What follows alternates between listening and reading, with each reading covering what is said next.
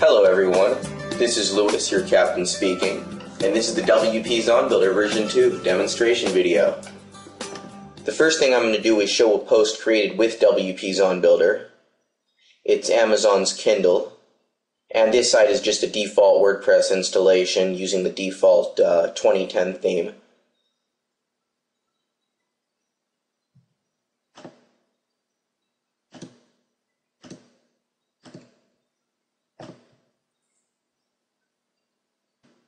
Now I'm going to show you how to search for and add products with WP Zon Builder. You'll see you have options to choose a category or a search index, a sort order, and keywords or a browse node ID. I'm going to go to browsenodes.com and find a browse node ID. I'm going to look for, let's say, Calphalon cookware. So that would be under the kitchen section, or probably the home section, home and garden, kitchen and dining, brands, Calphalon. And this is the browse node ID. I'm going to copy and paste that. And you could use search keywords if you wanted. You could just enter Calphalon. I find this is a much better way to do it because Amazon really does an excellent job of categorizing products, and by using browse nodes, you get uh, you get to basically source their very impressive ability to categorize products perfectly. Click Get Products. And we could have specified filtering options there if we wanted, like a maximum price, a minimum price, but there was no need in this case. And there you have it.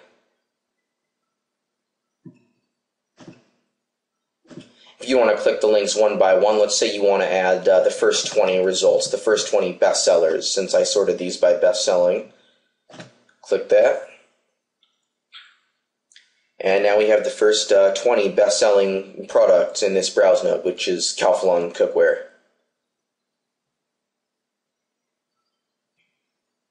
To post these to the site, I click Post Products. I can choose a category here or uh, post them in multiple categories, but I'm going to let WP Zon Builder create the category automatically for me by checking this box right here. Post dates. WP Zon Builder has an excellent scheduling feature, uh, date randomizing feature, actually. So I would say I want the post to appear, they're all going to be posted now, but the dates of them are going to be such that it appears they were posted starting up to six weeks ago and then they'll be randomly scheduled into the future for a period of, let's say, three months. And I could enter uh, a hard date right there, like March 10th or August 20th. But I'm just going to do plus two months, a relative date. User to post as. Uh, whether to allow comments, I'm going to do that, and whether to allow pings or trackbacks, I'm going to not do that. And then I can choose the post status. I want to publish these rather than post them as pending or draft for further modification. And then I click the large click here to post products button. And here we go, 20 products posted just like that. I'll click on one of these to see the end result.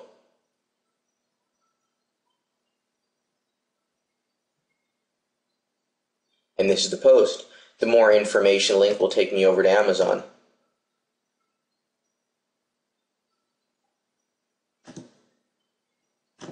Now I'm going to show you the settings page. There are many, many configurable options. The first is the template. Uh, three template sets are included, and you can create your own template sets just by copying and modifying the template files. Then we have uh, settings for SEO and links.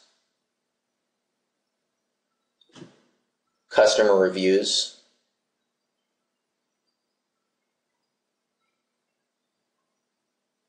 automatic tagging of posts.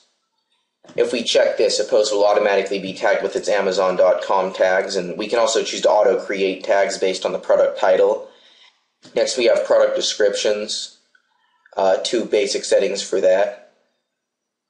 Sometimes Amazon provides images in the product descriptions they return. You can choose to automatically turn those into links to the product page on Amazon. Users love to click on images. So I really recommend checking this. It'll increase your conversion rate. Next, we have the cache and data expiry feature. This is very useful. Let's say WP ZonBuilder creates a post today, but it just so happens that a month into the future, Amazon updates the product price or availability information, descriptions, images. Enable this feature and specify a maximum age for data, and any data older than that will be automatically updated by WP ZonBuilder. So let's say we enter five days in this box, any post with data older than five days will be automatically updated with the latest data from Amazon.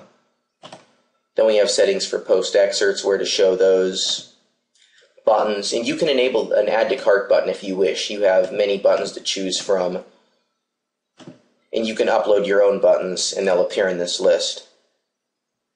I'm going to enable the add to cart button and show you what that does. Now visitors to your site will see both a more information button and an add to cart button. And clicking the add to cart button will automatically add the product to their shopping cart on Amazon.com.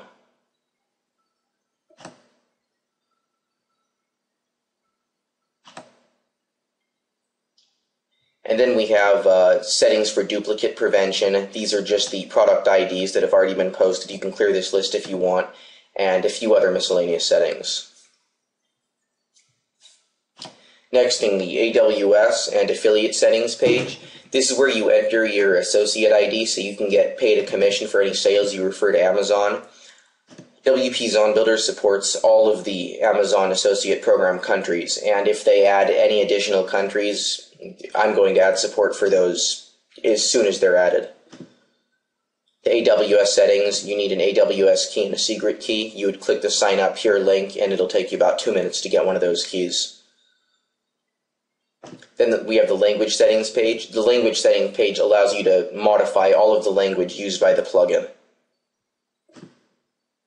This way you don't have to do edit files, modify code, or anything like that. It's all right here. Integration. This allows you to integrate with third-party plugins such as PHP Stock, Auction to Post, PHP Bay. You'd want to consult the documentation of those plugins for more information. But to give you an idea, you would enter the short code that those plugins use in these boxes. Something like that. And then we have custom field mapping, which is pretty advanced and is a whole nother video. Last thing is click reports. Right now, I've only clicked on one thing that uh, Calphalon commercial non-stick 10-inch stir-fry pot I added to the site earlier.